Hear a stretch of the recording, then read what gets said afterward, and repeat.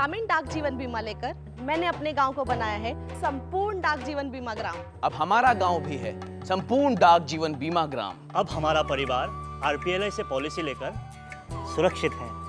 और हमारा गाँव है संपूर्ण डाक जीवन बीमा ग्राम।